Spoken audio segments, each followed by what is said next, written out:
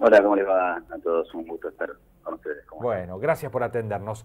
Bueno, eh, empecemos por ahí. Eh, ¿Estos mm. anuncios del, flamante ministro de Economía de esta semana implican o no implican un default?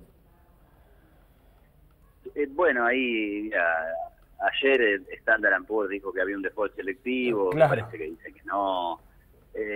por eso, la, la, técnica, la jerga técnica financiera debatirá si eso no. Pero a ver, yo te debía 100 dólares, te dije que mañana te los pagaba y mañana llego con 15. Sí. Y bueno, qué sé yo, ¿viste? Es como un poco, es, un poco claro que te estoy faltando a la palabra, ¿no? Mm, sí, claro. Y digo, no, mira que te lo pago, ¿eh? Pará porque en enero te voy a pagar 25 y en marzo te voy a pagar lo que falta. Bueno, sí, está bien, pero hay un incumplimiento. Hay un incumplimiento porque Argentina no tiene plata. Claro. Listo. O sea, eh, tiene una cantidad de reservas que son eh, 58 mil brutas, 58 mil millones de reservas brutas, eh, que si vos sacás eh, algunos conceptos te queda mucho menos y entonces hay que optar, hay que elegir porque la situación es de crisis.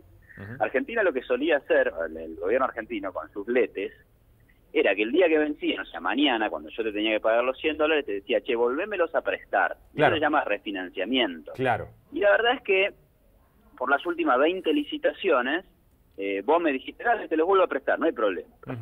Y listo. Lo que pasa es que a partir de las elecciones, eh, bueno, el panorama para el futuro es eh, o temeroso, o, a vos, que, me, refinanciaba te agarró miedo, dijiste, no, vos ya te fuiste a jugar al casino, así que ahora no me vas a devolver.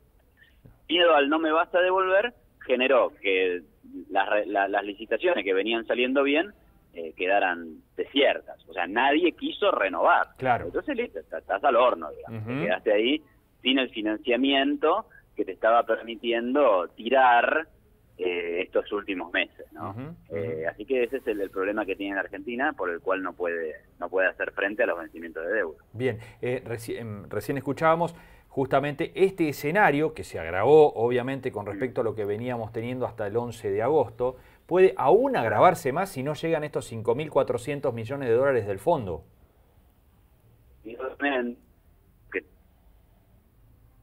Iván. Podría haber sido tomada. A ver, tenemos algún problemita en la línea ahí, a ver si te podemos recuperar, Iván. No, Sé, ¿Nos escuchas bien ahí? Ahí, a ver. Perfecto. Sí, ahí sí. A ver, me decías. Digo que también se especulaba que esta decisión fue tomada porque se, porque es probable que no venga esa plata. Entonces ahí tenés menos plata todavía como para para defender al dólar, para defender al peso, perdón, o, o para enfrentar eh, pagos de deuda, ¿no? Eh, así que obviamente, sí, si no viene sería peor todavía, le pondría mucho más estrés a las reservas, eh, que hoy es, es, lo único que, que mantiene todo a flote, es decir, tener reservas y vos podés tratar de sostener el dólar y, pero bueno, y si eso no pasa, estás complicado, ¿no? Porque va a subir más el dólar, va a subir más la inflación y bueno, claro. la situación sería peor. ¿Y qué capacidad de resistencia ves ahí en el Banco Central, en medio de todo este escenario, no?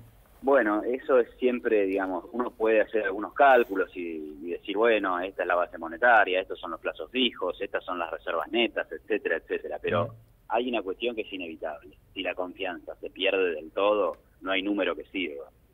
Entonces acá todo tiene que ver con, hoy por hoy te diría que tiene que ver más con gestos que otra cosa.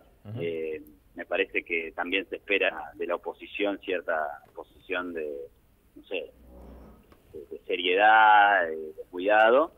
Y la verdad que lo mismo de, del oficialismo ¿no? y del gobierno, pero es como que hay poco margen. El gobierno está, está, está en retirada y está todo se viene.